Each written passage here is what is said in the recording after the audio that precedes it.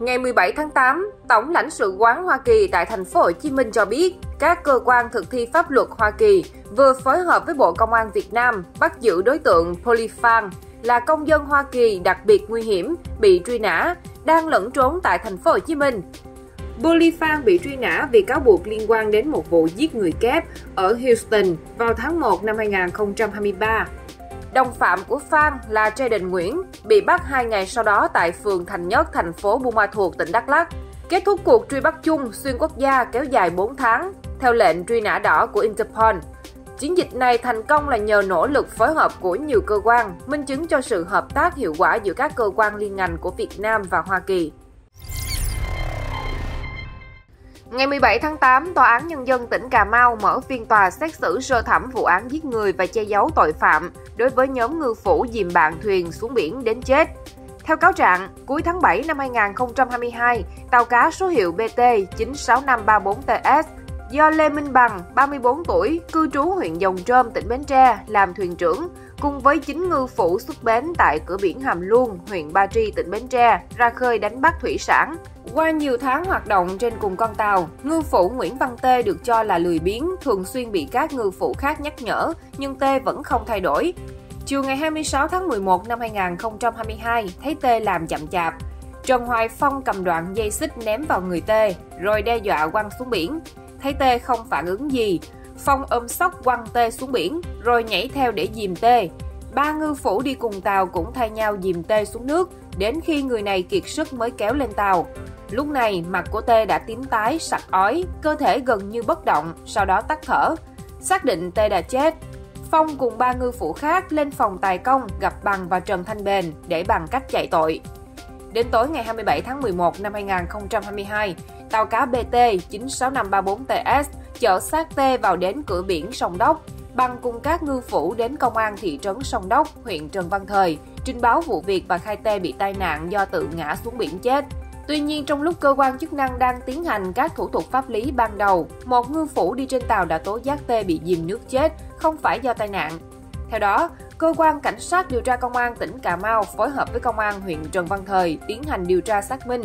Cuối cùng, những ngư phủ gây án đã thừa nhận hành vi phạm tội của mình. Tại tòa sơ thẩm, hội đồng xét xử tuyên Trần Hoài Phong 16 năm tù, ba bị cáo khác từ 9 đến 15 năm tù giam về tội giết người.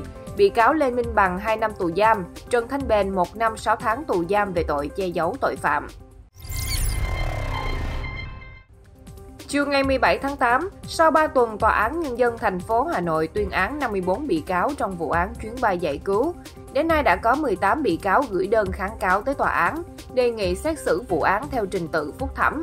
Trong số này có hai bị cáo kháng cáo kêu oan, không thừa nhận hành vi phạm tội, gồm Hoàng Văn Hưng, cựu trưởng phòng 5, Cơ quan An ninh điều tra Bộ Công an, Trần Minh Tuấn, giám đốc công ty cổ phần xây dựng Thái Hòa.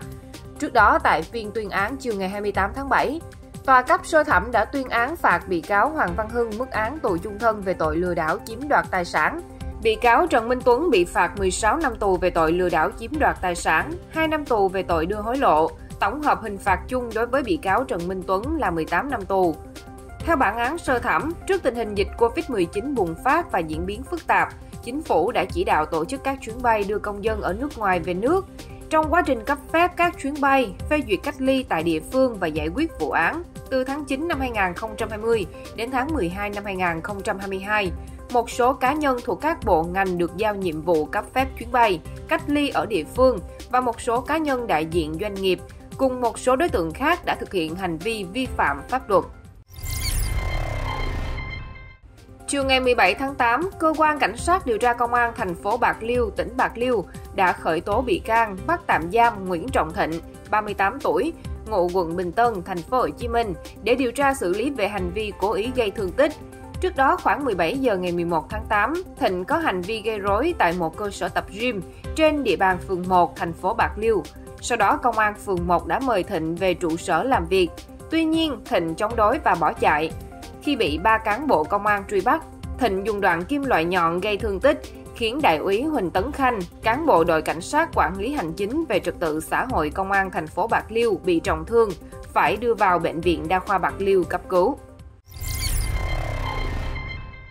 Ngày 17 tháng 8, thông tin từ Công an tỉnh Thanh Hóa cho biết đang tạm giữ Nguyễn Văn Thanh, 45 tuổi, trú thôn Xuân Tiến, xã Quảng Long, huyện Quảng Sương, để điều tra làm rõ hành vi giết người. Thông tin ban đầu, trưa ngày 16 tháng 8, tại một gia đình ở thôn Xuân Tiến, xã Quảng Long, tổ chức đám dỗ cho cha.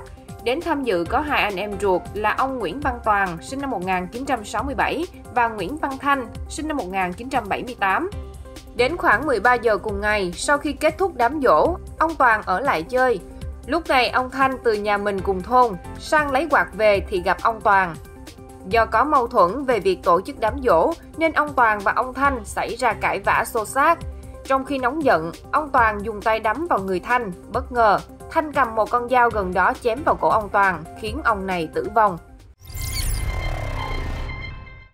Ngày 17 tháng 8, Tòa án Nhân dân tỉnh Nghệ An mở phiên tòa sơ thẩm xét xử bị cáo Cao Thị Thu Hà, 33 tuổi, trú xã Diễn Hoa, huyện Diễn Châu, tỉnh Nghệ An về tội lừa đảo chiếm đoạt tài sản. Theo cáo trạng, vì không có công an việc làm lại nợ nần nên Hà nảy sinh ý định đi lừa đảo.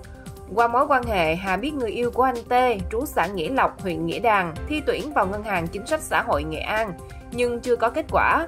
Hà nói với anh T có thân thiết với giám đốc ngân hàng này, có thể xin cho người yêu anh này vào làm việc. Tin lời, anh T đã chuyển cho Hà 850 triệu đồng. Ngoài ra, Hà còn nói với anh T có thể mua được xe ô tô giá rẻ, nên anh T đã chuyển 700 triệu đồng nhờ mua. Sau khi nhận tiền, Hà đã chiếm đoạt. Tương tự các cách thức lừa đảo trên, Cao Thị Thu Hà đã lừa đảo của ba người đàn ông với tổng số tiền gần 4,1 tỷ đồng. Kết thúc phiên tòa, hội đồng xét xử đã tuyên phạt Cao Thị Thu Hà 20 năm tù, buộc phải hoàn trả lại toàn bộ tiền đã chiếm đoạt cho các bị hại. Ngày 17 tháng 8 tại thành phố Nha Trang, tỉnh Khánh Hòa, Tòa sơ thẩm Tòa án quân sự khu vực 2 quân khu 5 đã tuyên trả hồ sơ điều tra bổ sung vụ án nữ sinh Hồ Hoàng Anh, ngụ thành phố Phan Rang, Tháp Chàm, tỉnh Ninh Thuận, tử vong do tai nạn giao thông. Theo đó, tòa trả hồ sơ để cơ quan điều tra làm rõ lý lịch nhân thân, đánh giá lại hành vi vai trò của hai bị cáo Huỳnh Thị Kim Hằng và Phạm Văn Võ. Bị cáo trong vụ án là Hoàng Văn Minh, sinh năm 1986, cựu thiếu tá, trợ lý tài chính trung đoàn không quân 937, quân chủng phòng không không quân, bị truy tố về tội vi phạm quy định về tham gia giao thông đường bộ, quy định tại điểm A khoảng 1, điều 260 Bộ luật hình sự.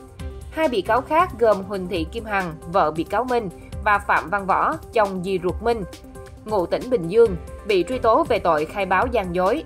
Theo cáo trạng, khoảng 8 giờ ngày 28 tháng 6 năm 2022, Hoàng Văn Minh lái ô tô chở Huỳnh Thị Kim Hằng và Phạm Văn Võ chạy trên đường 16 tháng 4, hướng từ biển Bình Sơn đến quảng trường 16 tháng 4, thành phố Phan Rang, Tháp Chàm. Khi đến gần cổng một ngân hàng thì xảy ra va chạm với xe máy do em Hồ Hoàng Anh cầm lái chạy cùng chiều. Vụ tai nạn làm Hoàng Anh tử vong. Thấy Hoàng Anh bị thương nặng, Minh cùng Phạm Văn Võ chở đi cấp cứu. Lúc này, sợ vụ việc ảnh hưởng đến bản thân và đơn vị, Minh nhờ Phạm Văn Võ đứng ra nhận là người điều khiển ô tô và được đồng ý. Riêng Hằng biết chồng lái xe gây tai nạn nhưng vẫn khai báo gian dối. Đến ngày 29 tháng 6 năm 2022, Hoàng Văn Minh cùng vợ và Võ đến công an thành phố Phan Rang Tháp Chàm khai nhận toàn bộ sự việc.